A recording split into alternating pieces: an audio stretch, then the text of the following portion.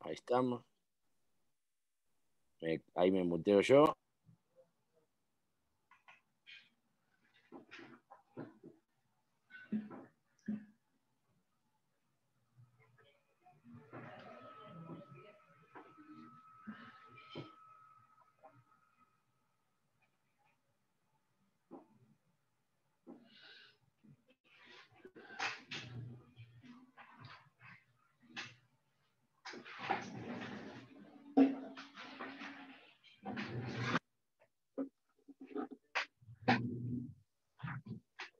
Buenas a los que se están sumando a la clase. ¿Cómo están? Em, los que quieran, eh, los invito a que tengan el instrumento a mano. Em, en esta clase vamos a tratar de, ver cómo, si podemos hacer un, breve intercambio de, opiniones em, y podemos interactuar un poco con ustedes tocando lo que, lo que estén preparando, lo que estén estudiando, eh, sobre todo em, en relación al tema de hoy. El tema de hoy, para los que em, no les llegó la información, tiene que ver con golpes de arco, o sea, cómo em, resolvemos con los recursos que el arco nos, nos permite en el violín eh, los distintos pasajes de las obras que ustedes están haciendo. Así que bueno, em, em, la veo a Laisa, Loli, Carolina, Reinaldo, Raquel, em, bueno, y unos cuantos más. Espero que estén muy bien. Buenas noches a Carolina, también a ti. Esperamos un par de minutos que se terminen de sumar los que quizás están entrando.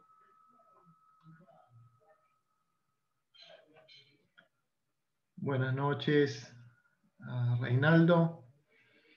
Vayan anotándose en el chat los que quieren tocar, pongan la obra que, quieren tocar, un pequeño fragmento, eh, sobre todo para trabajar eh, algún golpe de arco. Por ejemplo, un concierto 3 de, Mozart, eh, una partita de Bach, un fragmento, eh, o lo que, tengan, lo que tengan a mano. la idea es tomarlo como ejemplo y, trabajar un par de minutos con ustedes. ¿Mm? Concierto Conus. Bueno, ese no lo conozco, pero lo, vemos juntos. A ver, voy a tomar nota. Em, les comento, hoy tuve un, percance en casa con la energía eléctrica y tuve que venir, em, tuve que venir a casa de mis suegros a, hacer la clase, así que hoy no vamos a tener las proyecciones eh, que solíamos tener de PowerPoint, pero bueno, vamos a tratar de hacer una, clase quizás más amena, más ida y vuelta con ustedes, em, y quizás hasta sea eh, más didáctico y que sea, quizás sea mejor. Así que bueno, em, vamos comenzando con, con lo que yo tengo preparado que es, em, perdón, que estoy muy movedizo porque tampoco encuentro, no, tengo las comodidades que suelo tener en mi casa. Em, ¿Qué tal, Verónica Cabrera, que recién te reincorporás? Hola, ¿qué tal? Buenas noches. ¿Todo bien ustedes? ¿Qué tal? Muy bien les estaba comentando que tengan el violín a mano si los que quieren compartir para resolver algún eh, o discutir cómo hacer un golpe de arco en especial de alguna obra que ustedes estén estudiando, lo podemos hacer. ¿eh? Vamos a dedicar un tiempito para eso. Em, me estoy abriendo mis apuntes. Bueno, eh, primero quería recapitular un poquito eh, sobre lo que estuvimos viendo eh, anteriormente. quería sugerirles, es muy importante en el aprendizaje del violín, esto lo dice un, un gran violinista que es Pinka Zuckerman, que uno de los secretos de lo, digamos, lo que él trabajaba con sus, con sus alumnos es el hecho de que el alumno aprenda a escuchar, eh, sepa cómo escucharse. Es, em, es, un principio que cualquiera de ustedes que quieren estudiar el violín y que quieren mejorar y que quieren tener un, progreso real, tienen que aprender eh, para sí. Em, ¿Y qué es escucharse? Escucharse es, eh, em, muchas veces em, nos embelezamos con un sonido del violín y empezamos a cerrarnos en una fantasía y tocamos en un, en un cuarto chiquito y entonces nos hacemos una idea muy limitada y, y, un poco irreal de lo que es el sonido del violín, lo que es una interpretación y muchas cosas para eso yo les quería dejar algunos consejos que me sirvieron a mí em, eh, mucho. Em, ustedes tienen la ventaja que yo no soy un, prodigio violinista, no soy ni Pinka Zuckerman, ni, mucho menos. Em, pero tienen la ventaja de que eh, yo lo poco mucho que hice lo tuve que hacer con mucho esfuerzo, con mucha dedicación, investigando mucho, eh, haciendo realmente un, esfuerzo muy grande. Y bueno, de, todo ese aprendizaje me, quedaron muchas enseñanzas que, quizás les sirva a ustedes. Eh, una de las cosas que en mi época no era tan común, pero hoy día sí, algo que, sirve mucho es grabarse, aunque a veces es duro y es una experiencia que no, es tan grata al principio, es, es algo que es eh, inevitable, nos va, inevitablemente nos va a llevar a mejorar. ¿eh? Si nos queremos quedar con la fantasía que tenemos adentro nuestro, bueno, eso no nos va a llevar a ninguna parte. Pero si queremos realmente progresar, eh, yo les recomiendo grabarnos mientras estudiamos, por ejemplo, al final del día de estudio, saber que vamos a tener que grabarnos un, fragmento de alguna obra, algún estudio. Otra cosa que les quiero dejar que es, muy importante para conocerse, para, eh, vieron que lo que les estoy diciendo es que saber escucharse, pero también saber verse. Em, tocar frente al espejo también es muy útil.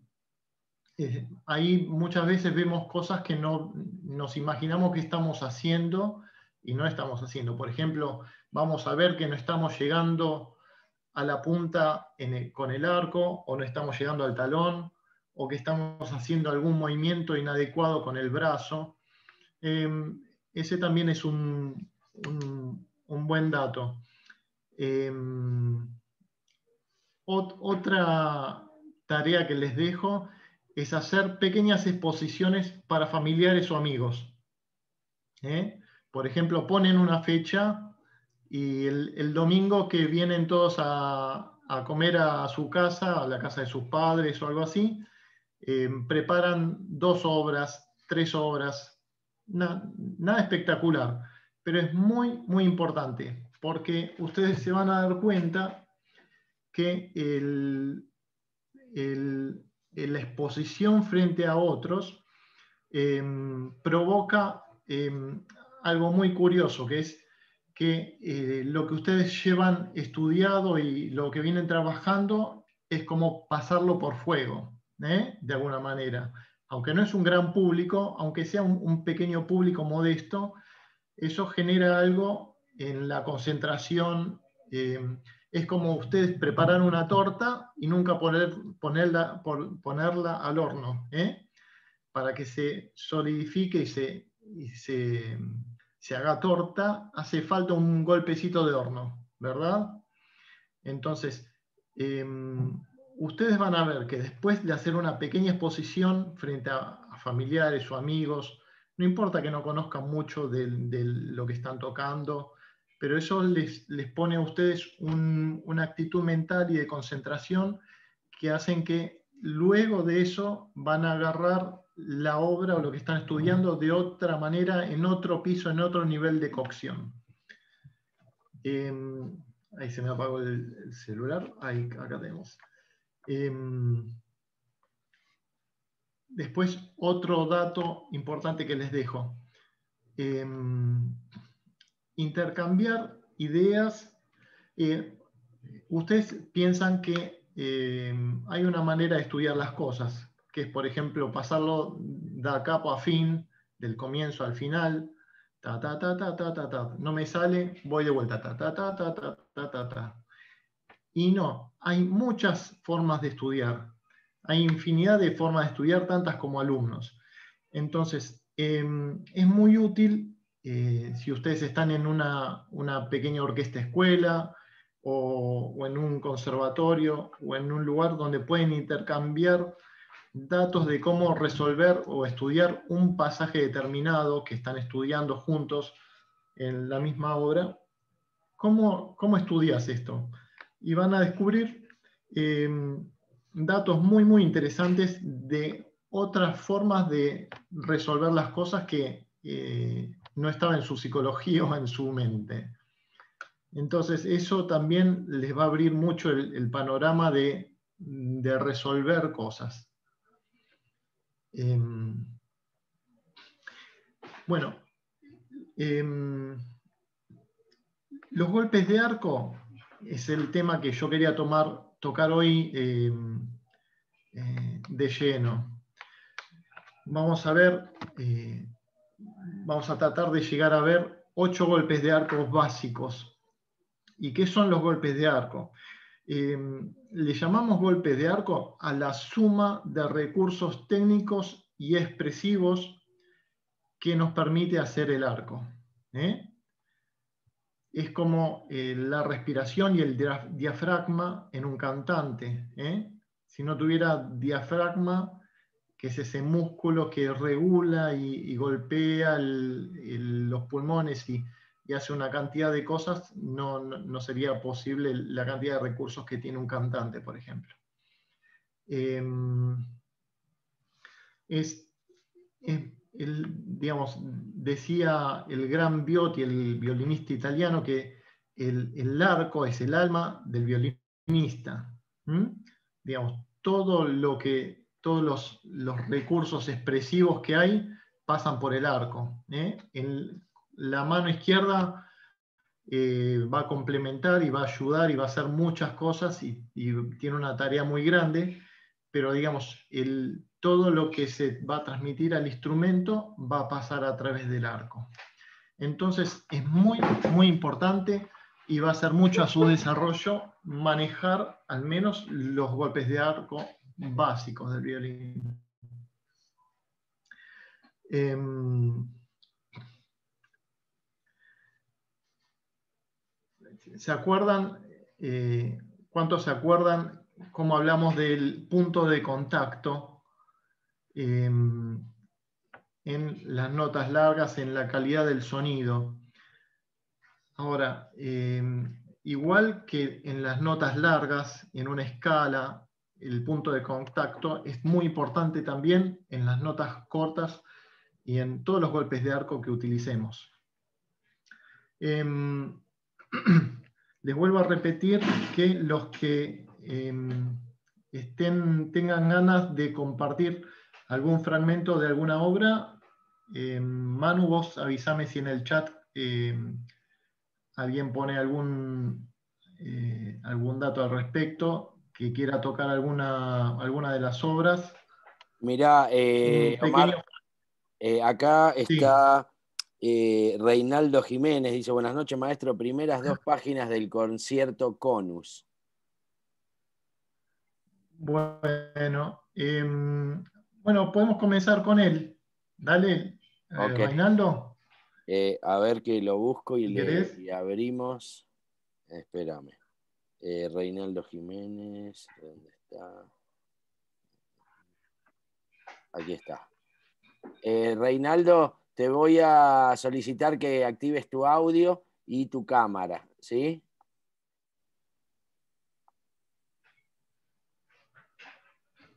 Manu nos ayuda desde la Ciudad de México. No, Ciudad de México no. ¿Cómo están? Buenas noches. Es correcto, Ciudad de México. Ciudad de México. Gracias, Manu. Hola, Reinaldo. ¿Cómo estás? ¿De dónde sos? Yo soy de Venezuela. Ah, ¿qué tal? Un gusto enorme. Yo estoy en Buenos Aires. Ah, qué bueno. Pero que bueno. Te escucho muy bien, así que em, ¿querés tocar em, un minuto de, lo que tenés eh, preparado? Y, lo trabajamos un poquito. A ver si nos sirve de ejemplo. Ok.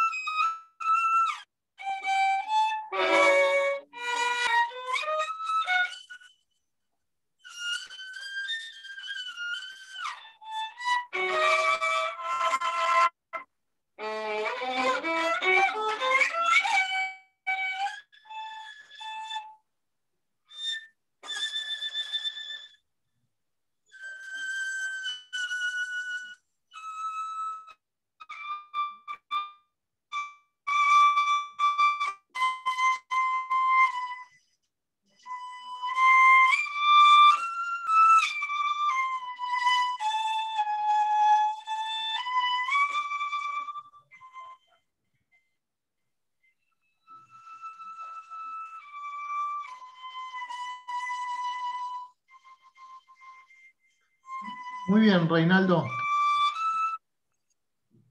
Ok. Ok, Reinaldo. Muy bien. Em, se escuchaba muy bien tu afinación, tu sonido eh, y tu arcada, eh, como que tenés una linda técnica de arco. Bueno, este, em, este golpe de arco se llama, em, es el, el legato. ¿eh?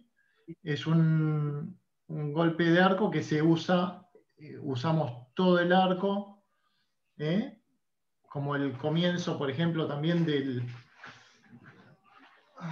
del, concierto de, de Tchaikovsky, ¿no?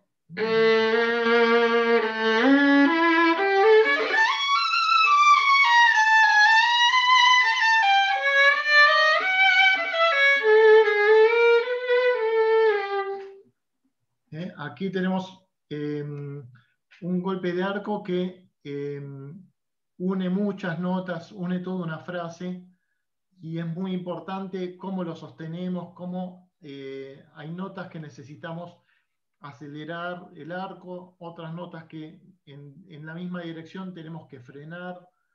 Em, eso es algo que se trabaja, se trabaja mucho, es muy difícil.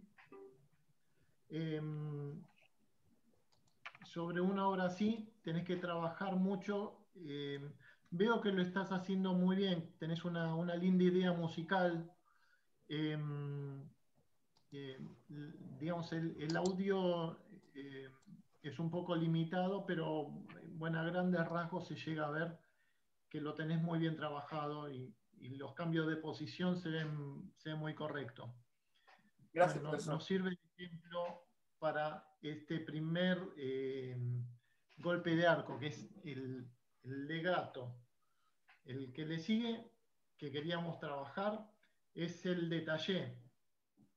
Em, ¿Alguien quiere aportar algo con el detalle?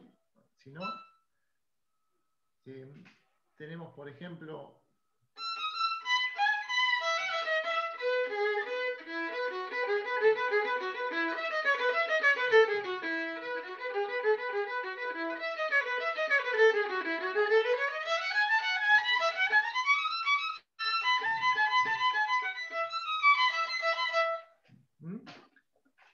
es el detalle. Es un golpe de arco que eh, sin detenernos, sin ataque y sin detenernos en los extremos, une una nota con la otra. Ahora, em, hay, un, hay un error que muchas veces notamos en este golpe de arco, que es el detalle, y que lo quiero señalar porque es uno de los golpes de arco más más usados y más, eh, uno de los primeros que hacemos. Y lo que tenemos que atender en este golpe de arco es, eh, igual que en, en, otros también, pero como en este movemos bastante el, el antebrazo, entonces lo que solemos hacer es esto endurecemos el, codo y como eh, aparentemente va a sonar parecido, no notamos y empezamos a tocar así, y el arco hace así como una especie de banana, si lo vemos, si no nos vemos en el espejo. Entonces, lo que tenemos que atender en este primer golpe de arco es que la, no rigidicemos la articulación del codo, ¿eh? tampoco la de la muñeca. ¿no? En los golpes de arcos es muy, muy importante tener todas las articulaciones disponibles y blandas. ¿eh? Hay una de las partitas, eh, la alemanda de la partita número 2.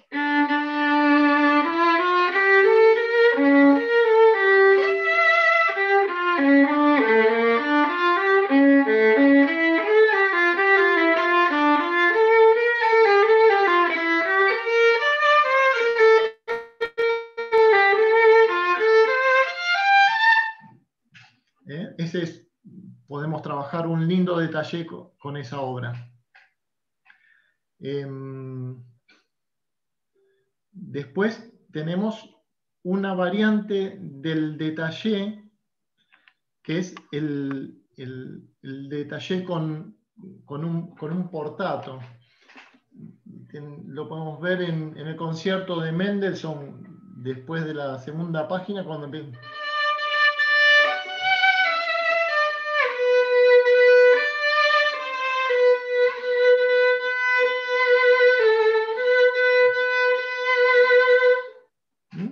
que son em, varias notas hacia el mismo, con la misma dirección del arco y son ligeramente separadas, ¿eh? sin detener el arco. Entonces, ¿cómo se realiza eso? em, también teniendo la muñeca muy, muy ligera, vamos haciendo un movimiento, ¿vieron las medusas en el, en el, mar? Las, las medusas de, si vieron la película de Nemo, que aparecen las medusas flotando así. Bueno, imagínense que su muñeca es como una medusa que flota en el mar. Esa es una forma, depende de la velocidad que lo, lo hagamos también, ¿no?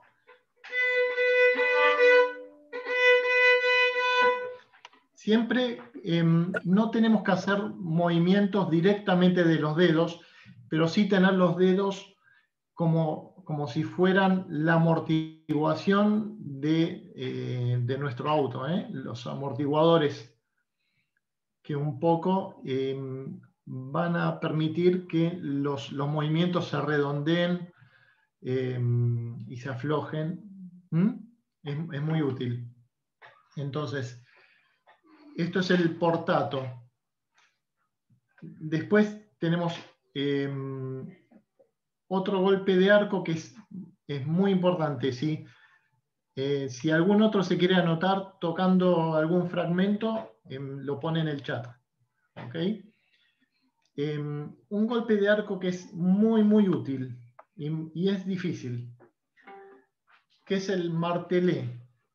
El martelé es difícil porque tiene, em, es como un detalle, pero que le recortamos los extremos. ¿Mm? Sería así.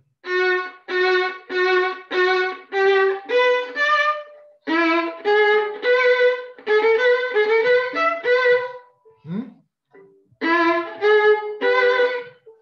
Es, muy importante cómo detener el arco. Eso es algo que muchas veces Em, no, es muy difícil hacerlo. Entonces los, los, desafío a que practiquen este golpe de arco. Hay, hay ejercicios, yo con ustedes les estoy compartiendo muchas cosas del libro de Kreutzer, Kreutzer se escribe. Hay, hay varios ejercicios, por ejemplo el, el número 6, ¿eh? Que tiene un, es lindo para practicar este golpe de arco, que es así.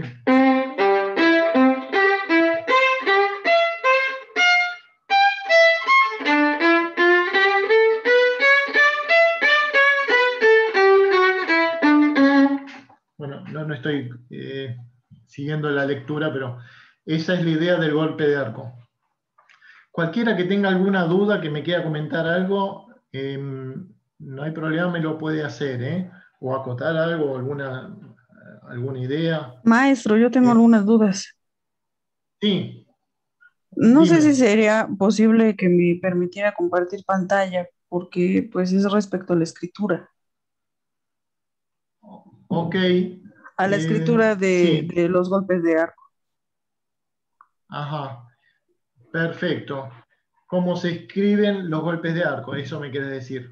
Sí, eh, eh, tengo un estudio del método eh, Mathieu Lariu, el método francés. Este, vienen algunos estudios para realizar martelé, estacato, detaché y gran detaché. Y mi duda es, cómo se escribe cada uno, porque los muestra con, el puntito sobre la nota, cada uno de estos. Entonces, ¿cómo sé que es gran detalle? ¿Cómo sé que es detalle? Eh, eh, ¿La partitura siempre lo va a decir o qué es eh, lo que tengo que tomar en cuenta para saber a cuál corresponde? Perfecto, yo, yo te lo aclaro rápidamente. Em, esto está sujeto un poco al estilo y a la época de la escritura, pero en rasgos generales, cuando no aparece ninguna, por ejemplo, tenemos em, eh, un, tema romántico, del periodo romántico em, o, post-clasicismo, eh, si no aparece ningún signo de, arriba de la nota, por lo general debe ser un detalle.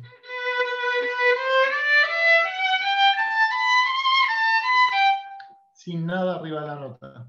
Ahora, si tenemos em, una rayita sobre la nota, entonces em, es levemente destacado y, puede estar ligado, si está ligado y una rayita, entonces sería...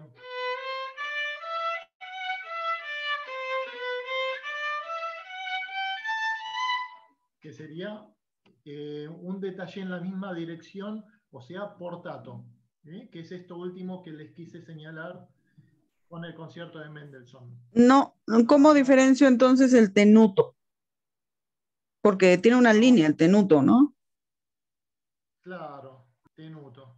Claro, cuando hay una línea significa que em, em, no, es, no es pegado.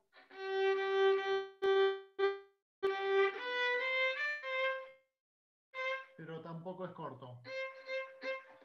Ahora, eh, todo esto se ve eh, en el contexto de la música, de la obra, de la época y de todo.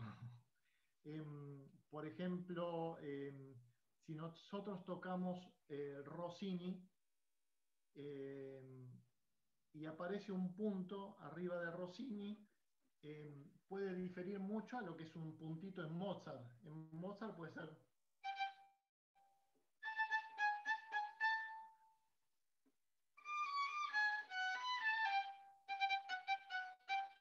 pero en Rossini eso puede ser muy largo. En Rossini puede tocar extremadamente corto.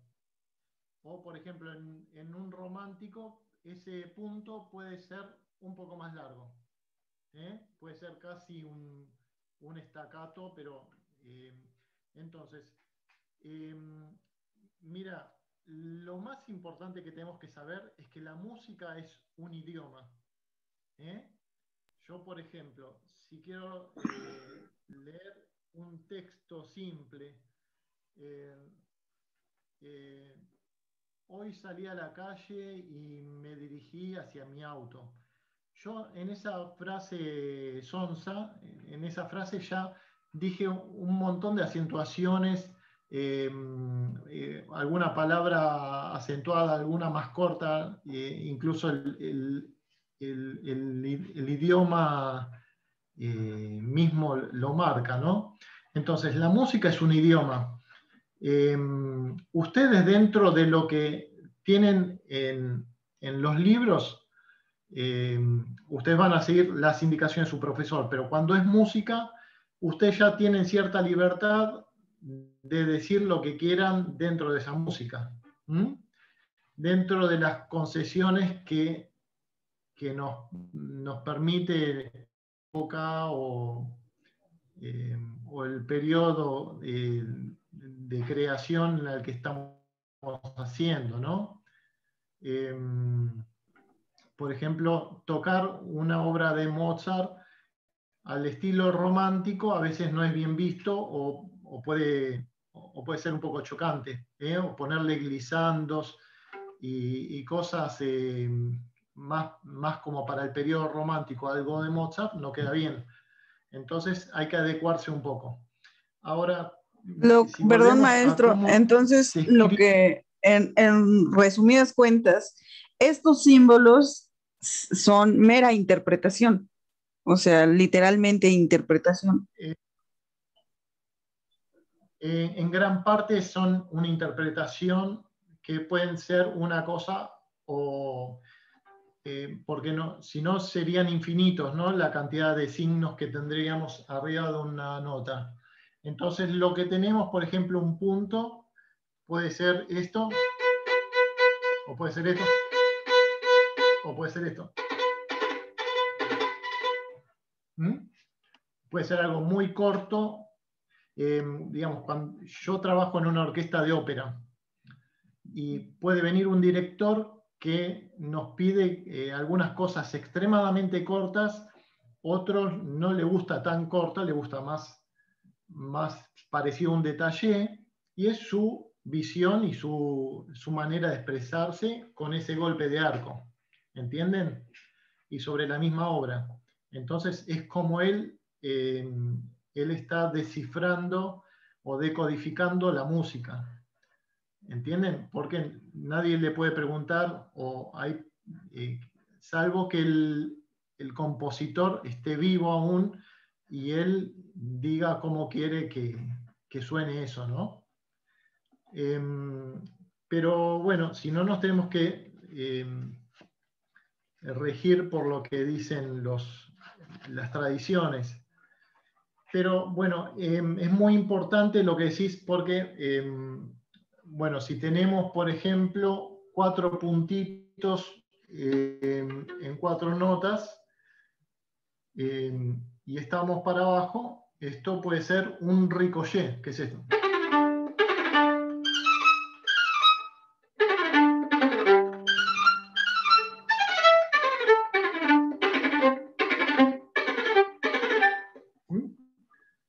Golpe de arco se llama ricochet, que son Em, cuatro notas estacatas con el arco para abajo, dejándolo saltar simplemente. Em, y estamos, em, entonces, el portato se escribe en, una ligadura las cuatro con liñitas. Después a veces cuando un compositor quería poner martelé, ponía martelé. ¿eh? O eh, si no se pone una cuña, que es, no es un puntito, sino es como una lágrima arriba de la nota. Y entonces esto significa eh, todavía más destacado. Destacado significa destacado, staccato en italiano. Después tenemos, eh, son eh, quizás más difíciles de controlar. Les quiero decir también que es importante de la baqueta del arco que tengan. A veces eh, todos comenzamos con instrumentos económicos y a veces eh, los instrumentos económicos traen arcos que son, son muy, muy blanditos, muy, eh, son muy demasiado flexibles y no tienen lo que decimos nervio, un nervio que les permita eh, tener un, buen rebote con, con, el arco, sino que es, es, es como un flan, ¿no? Entonces, eh, a veces, si tienen uno de estos arcos, es bueno eh, invertir. Hay arcos muy económicos que son estos de fibra, estos arcos medios plásticos, que son negros. Son arcos que eh, quizás no tienen el, gran sonido de un arco de madera, pero el funcionamiento es muy bueno porque tienen un, buen nervio que les va a permitir eh, practicar los golpes de arco como deben ser. Y tienen un buen balance y si están bien encerrados se van a conservar derechos. Entonces yo se los les recomiendo, quizás si tienen un, arco muy, muy deficiente, eh, ahorrar eh, por acá, por Argentina, valen alrededor de 100 dólares los económicos. ¿Eh? un arco de esos. Em, pero quizás les cambie la, forma de estudiar, eh, que desde ya es difícil con el violín. Em, entonces, los arcos que, los golpes de arco que van fuera de la cuerda, tenemos em, los estacatos. ¿eh?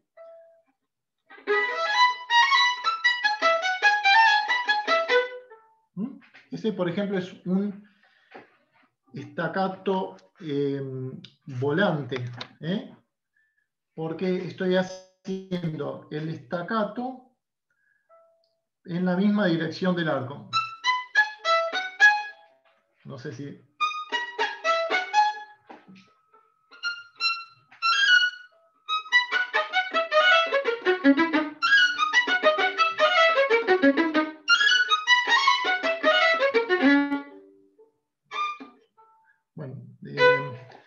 se entendió.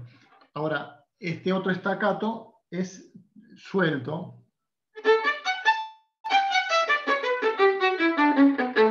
¿Cómo se hace eso?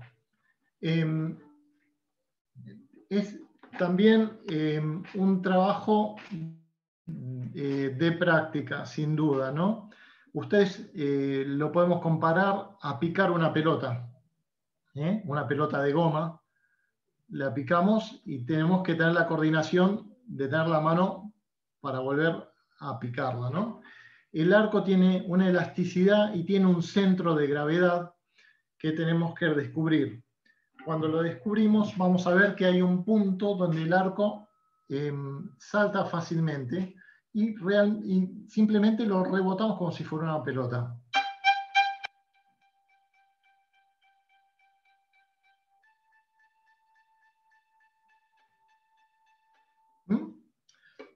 A esa velocidad se puede hacerlo rebotar de esta manera.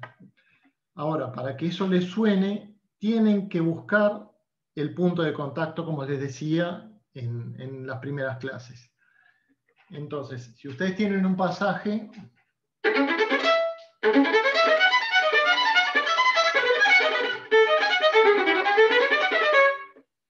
Em, con muchas notas y quizás les suene todo sucio, entonces lo que se hace con esto es cada nota repetirla, por ejemplo, cuatro veces.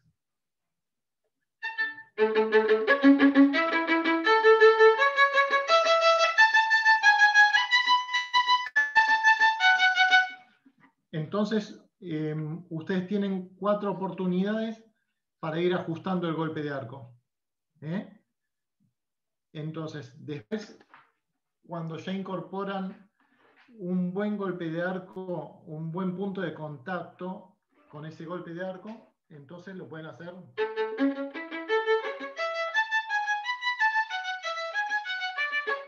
De a dos veces, por ejemplo. ¿Mm? y de esa manera van limpiando el golpe de arco. ¿Ok?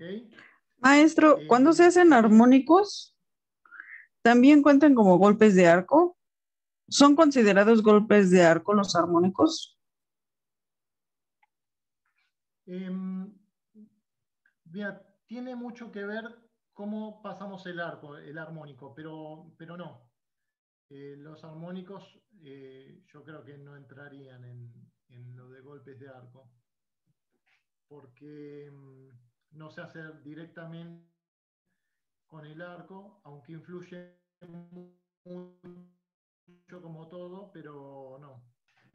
Em, después eh, hay otro estacato que es, es, muy difícil y muy vistoso, que es, por ejemplo, Em, como el Capricho 21 de Paganini. ¿Mm?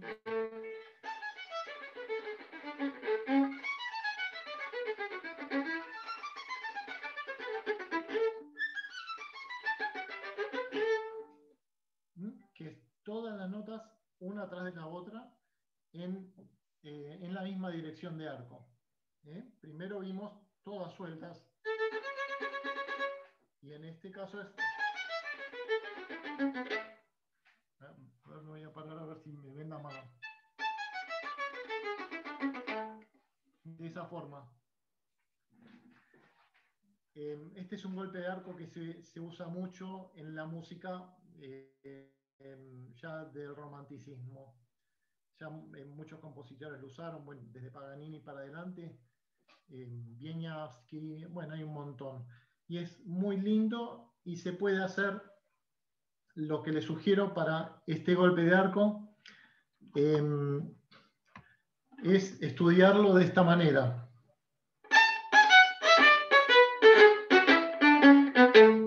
¿Eh? Con distintos ritmos. Luego lo hacen así.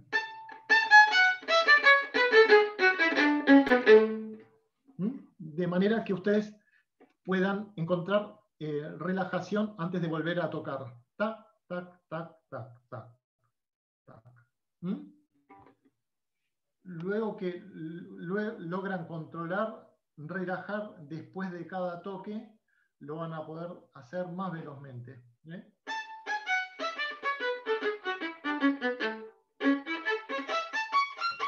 Puede ser para abajo también ese golpe de arco.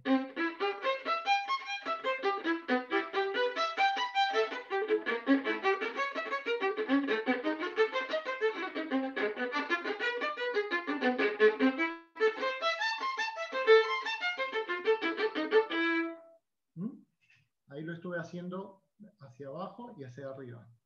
¿Mm? Se estudia de la misma manera. Eh, quizás les lleve tiempo, pero insistan que lo van a, lo van a conseguir. Em, Omar, eh, nos quedan aproximadamente cinco minutos. Dale. Y tenemos una pregunta. Al final.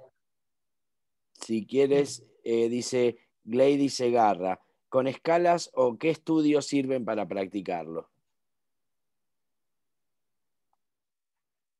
Em, mira, con escalas sirven. A mí me gusta más estudiarlo sobre ciertos pasajes porque, em, digamos, si, encontramos, eh, hay muchos estudios que, tienen una melodía o algo que nos, nos va a enganchar más, para hacer los estudios. Pueden tomar mismo los, algunos caprichos de Paganini que tienen estos estudios o le comentaba los estudios de Kreutzer, em, Polo, eh, Rodó, hay, Rode, em, hay, hay, muchos estudios que, incluyen estos golpes de arco y son más entretenidos que estudiarlos sobre una escala. Las escalas son absolutamente obligatorias em, y, se las, les recomiendo que no dejen de estudiar un solo día de escalas y arpegios. Em, ya que hablamos de escalas, em, yo hago, cada día hago un, semitono en si bemol, después al día siguiente o cada dos días hago en si, do y voy subiendo así. Todos los días estudio escalas y arpegios. Pero los golpes de arco sobre el pasaje que tienen que resolver o sobre un estudio es lo más indicado, que están escritos especialmente para, resolver esto. Em, de todas formas, ahora nos quedamos sin tiempo. Em, muchos me estuvieron eh, conectando a través de Instagram. Eh, Laisa, Verónica, Priscila, Brittany, Alexis, eh, Gladys, Carolina y otros más. Em, Así que durante la semana me pueden eh, traer alguna duda que tengan específica y yo no hay problema, se la voy a contestar. Capaz que tardo un, día en, verle la, pregunta, pero les voy a contestar. Em, después tenemos, bueno, tenemos un golpe de arco muy, muy, también muy lindo, que es, como un, un espicato, pero en la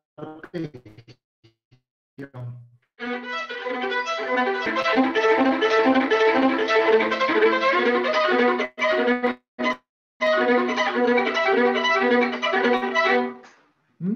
bueno, para este golpe de arco lo que es eh, aconsejable simplemente ir un poquito más hacia la tastiera. ¿Mm? Hacia acá. Ahí el arco por lo general funciona muy bien.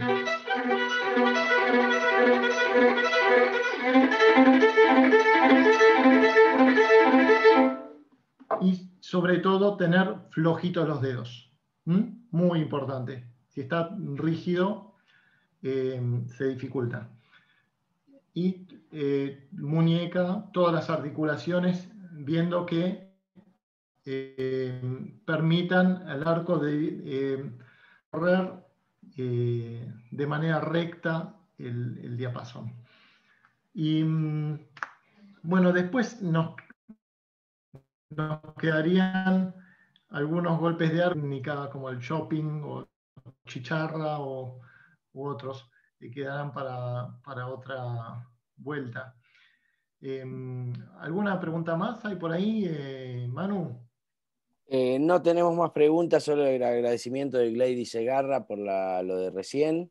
Y bueno, sería la hora ya. No sé si quieras agregar algo, saludar o lo que sea. No, no. Bueno, eh, muchísimas gracias por estar. Eh, y ya les digo, cualquier otra duda de, cómo resolver un pasaje específico, están estudiando un estudio, se comunican conmigo y me buscan en en Instagram o en Facebook y nos comunicamos y los voy a ayudar. ¿eh? Bueno, espero que les haya servido y nos estamos viendo la próxima. Abrazo a todos. Saludos. Muchas gracias, maestro. Gracias, muy buena la clase. Bueno, gracias, Manu. De nada, nos vemos la próxima. Dale. Nos vemos. Chao, chao, gracias.